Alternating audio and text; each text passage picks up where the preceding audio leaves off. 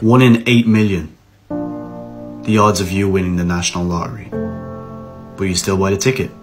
One in 3.7 million. The odds of you being in a plane crash. But you still take the flight. One in 4,000.